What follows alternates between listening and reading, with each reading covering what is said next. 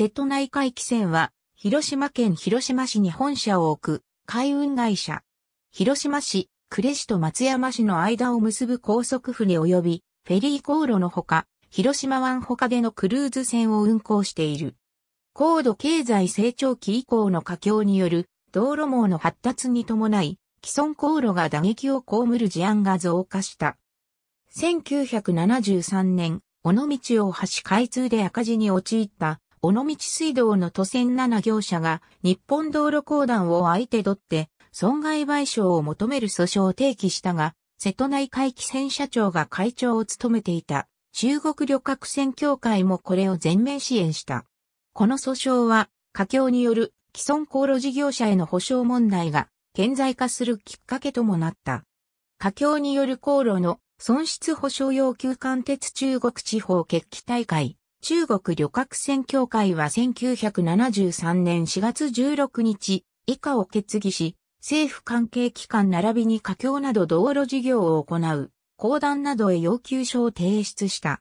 佳境着工前に旅客船関係者と従業員が納得シュール保証制度を確立すること、すでに着工済みのものについては直ちに納得しうる保証内容を示すこと。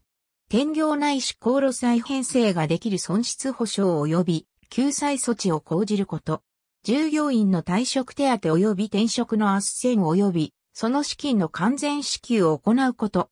不要船舶、施設の買い上げまたは売却損補填を確約すること。また、佳境により航路廃止、縮小した事業者とその従業員の受け皿を担う会社の設立も行われている。創業時点では34航路を運行していた。当時の主力は以下の4航路である。1964年12月時点では10航路を運行していた。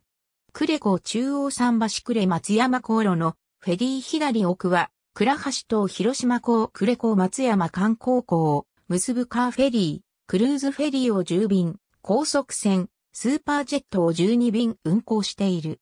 いずれも客室は全席禁煙である4月1日に廃止された。瀬戸内海汽船の戦場から撮影した航路全域の Google ストリートビューが2015年1月22日から公開されている。スーパージェット、編集料金、編集船内施設、編集レストラン船、編集レストラン船、銀河を運行しており、定期運行のほか、貸切運行も随時実施している。下記は納涼船としての需要が多くなっているとされる。以前は屋形船も運行していたが、2008年1月末をもって廃止された。フェリー、編集フェリー、石手川2019大駅フェリー、四万十川四万十川699総トン、1991年、就航、神田造船所建造全長60.5メートル、幅13.6メートル、公開速力14.2ノット。旅客定員324名、車両積載数、乗用車40台。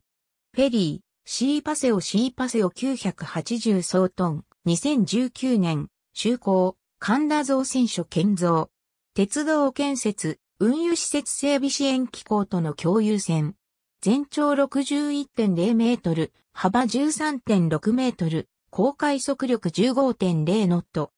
旅客定員300人、車両積載数、乗用車35台。船名は、海とパセを合わせ散策や公園をイメージしたものとしている。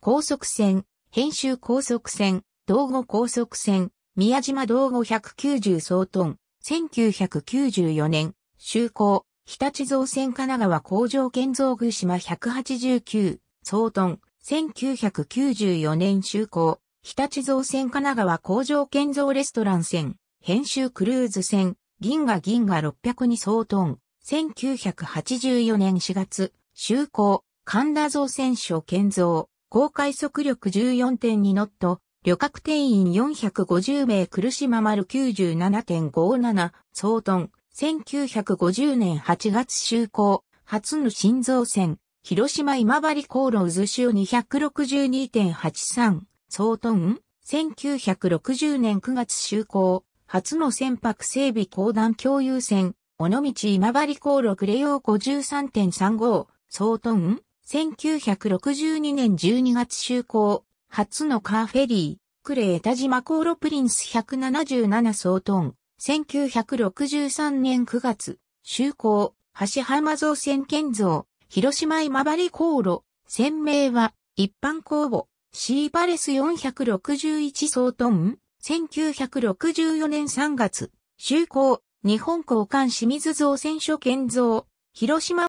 旅客定員300人、車両積載数、乗用車35台。ありがとうございます。